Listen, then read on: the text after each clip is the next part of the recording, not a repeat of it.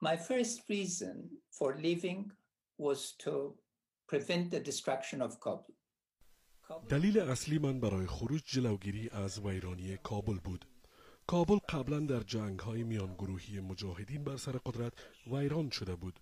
با خاک یکسان شده بود. دو گروه متفاوت از طالبان از دو جهت مختلف در حال وارد شدن به کابل بودند. احتمال یک درگیری شدید بین آنها بسیار بالا بود و شهر با جمعیت پنج میلیون نفر در معرض نابودی قرار داشت. چی به یاد می آورید از همان روز وقتی که از خواب بیدار شدید و دیدید که آن افتاد day, I had صبح آن روز به ذهنم هم خطور نمی کرد که بعد از ظهر من کشور را ترک می کنم. به ما اطلاع دادند که گروه حقانی تعهد داده که وارد کابل نشود ولی دو ساعت بعد اینطور نبود از من خواسته شد که به همکارانم از جمله مشاور شورای امنیت ملی اجازه بدهم تا کشور را ترک کنند. همچنین از همسرم خواستم تا کشور را ترک کند. او مردد بود این کار را انجام بدهد. آنها یک و نیم ساعت قبل از خروج من محل را ترک کردند. من منتظر بودم تا اینکه بسم الله خان وزیر دفاع به من زنگ زد و گفت که همه چیز از هم فرو پاشیده. این زمانی بود که من می‌خواستم به وزارت دفاع بروم.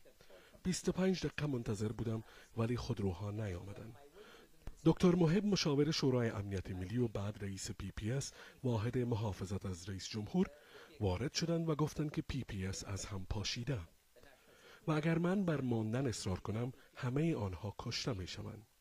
آنها در موقعیت نبودند که از من حفاظت کنند. دکتر محب واقعا ترسیده بود.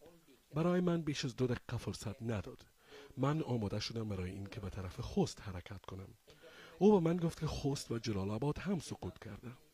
من نمی‌دانستم کجا می رویم. تنها وقت سوار هلیکوپتر شدیم مشخص شد که ما کشور را ترک می کنیم. این واقعا اتفاق ناگهانی بود. so this really was sudden. اخیرا کنگره آمریکا از جان سابکو بازرس ویژه آمریکا در امور افغانستان خواسته تا درباره ادعاهای تحقیق کند که گویا شما زمان ترک کشور با خودتان مقدار مشخص پول خارج کردید فکر می‌کنم سوال دیگری که خیلی از افغان ها می‌خواهند دربارش بشنوند این است که چرا شما افغانستان را به آن شکل ترک کردید من می‌خواستم بگویم که برای شما هم شخصا احتمالا خیلی سخت بوده که در آن مرحله افغانستان را ترک کنید Absolutely. It's the hardest thing. البته سختترین اتفاق ممکن بود. به همین دلیل در یکصد روز گذشته من تنها بودم و در حال نوشتن و و اتفاقات گذشته فکر می کردم وضع توانست از این سختتر باشد. مجبور بودم خود را قربانی کنم تا کابل را نجات بدهم و خودم را در معرض شرایط قرار بدهم که باقیت داشت. یک کودتای خشن نه یک توافق سیاسی یا یک روند سیاسی که مردم در آن مشارکت داشته باشند. دوم من می‌خواهم تاکید کنم که هیچ پولی از کشور خارج نکردم. هلیکوپترها و اولین مقصد ما در دسترس همه بود تا بررسی کنند. من نه تنها از تحقیق در این باره توسط آقای سابکو استقبال می‌کنم بلکه می‌خواهم یک تحقیق دیگرم انجام شود. به محض اینکه این ادعاها مطرح شد پیشنهاد کردم که تحقیقاتی در این باره توسط سازمان ملل یا یک نهاد بازرسی کننده دیگر انجام شود. شیوه زندگی من بر همه معلوم است. من با پول چی می‌خواستم بکنم؟ این اتهام است که مشخصا اول از طرف روسیه مطرح و بعد منتشر شد. من خوشحال می شوم که در این زمینه هر نوع تحقیق لازم از من انجام شود. از جمله اینکه از دستگاه دروغ سنج استفاده شود یا به هر شوی دیگری که لازم باشد. من به دلیل تعهد به کشور خود مطرح هستم.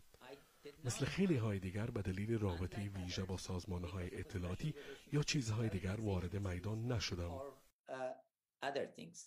برگردیم به تفاهم نامه ای که در تاریخ 29 فبروری 2020 امضا شد آیا چیزی درباره آن هست که احساس کنید اگر به عقب برگردید می توانست طور دیگر انجام شود یا شما می‌شد به گونه دیگر رفتار کنید که باعث می‌شد نتیجه بهتر از آن تفاهم نامه حاصل شود What happened on the 29th of February? آنچه در 29 فبروری رخ داد این بود که به جای دستیابی به یک روند سال به روند برای خروج نیروهای آمریکا رسیدیم در آن زمان طالبان به عنوان کشنده ترین سازمان تروریستی جهان شناخته می شد. آن روز دو تفاهم نامه وجود داشت. دو رخ داد. اولی در کابل شکل گرفت. ستولتنبرگ دبیرکل ناتو و اسپر وزیر دفاع آمریکا اول به کابل آمدند و اعلام تفاهم مشترک کردند. ماها بود که این به طور موازی همزمان با تفاهم با طالبان در حال انجام بود. یعنی این در واقع یک رابطه مشترک بین آنها و دولت افغانستان بود. بله. وقتی به تفاهم نامه نگاه می‌کنید چهار قسمت دارد. اما چهار بخش دو تفاهم نامه شدیداً با هم فرق دارند. ببخشید فکر می‌کنم لازم است توضیح بدهید که منظور از تفاهم نامه دیگر تفاهم نامه امضا شده میان دولت آمریکا با طالبان در دوحه است. آن تفاهم نامه توسط سفیر خلیلزاد در حضور آقای پامپیو وزیر امور خارجه آمریکا امضا شد. در کابل آقای اسپر وزیر دفاع گفت که این یک تفاهم مشروط است و باز هم گفت دوباره تاکید می‌کنم این یک تفاهم مشروط است. و اگر طالبان به تعهدات خود عمل نکند این تفاهم نامه از سوی آمریکا لغو می شود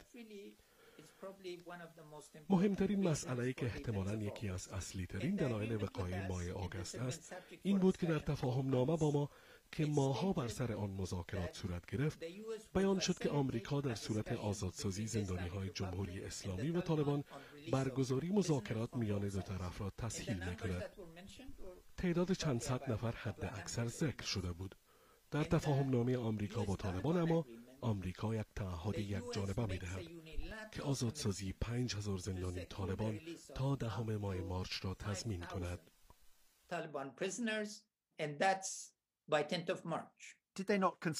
آیا با شما درباره آزاد کردن پنج هزار زندانی مشورت نکردن؟ ما قاطعانه آن را رد کردیم. من همه تفاهم نامه های سال را قبلا مطالعه کرده بودم.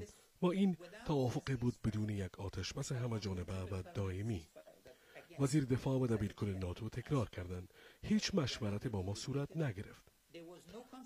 علاوه بر آن آمریکا یک جانبه تعهد داد که باقی زندانیان طالبان را هم در سه ماه بعد از آن آزاد کند ضرب هشدارآمیز صادر شد اینکه ما باید آزادشان می‌کردیم.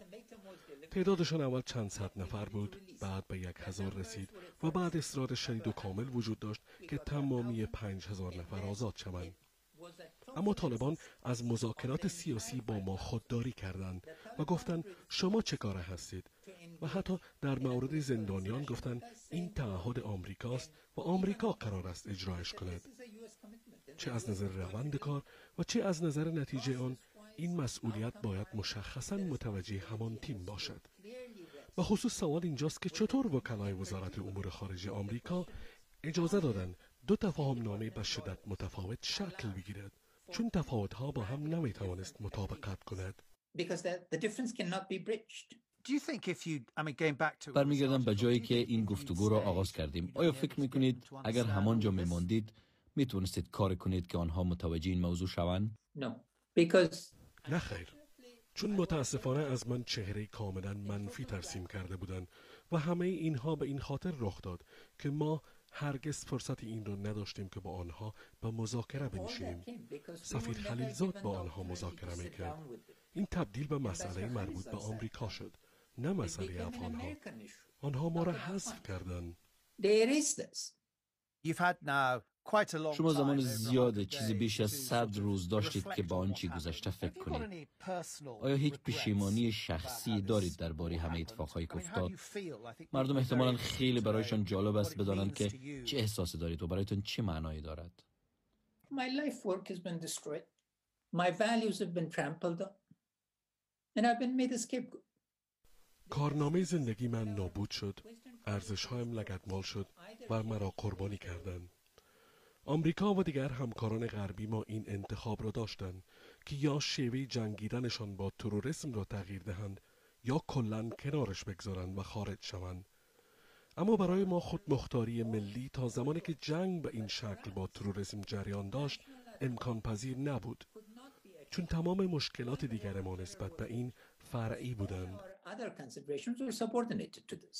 No, of course, you said very publicly that for you, when you were president, this was شما وقتی رئیس جمهور بودید به. وضوح اعلام کردید که این برای شما جنگیدن تا پای uh, مرگ است و همه مسائل مربوط به آن که تا انتها خواهید رفت اگر به پایان این مسئله برگردیم مطمئنم افغانهای بسیاری هستند که شما را به عنوان رهبرشان نسبت به آنچه اتفاق افتاد مقصر می‌دانند شما احتمالا باید درباره همه اینها پاسخ به آنها بدهید.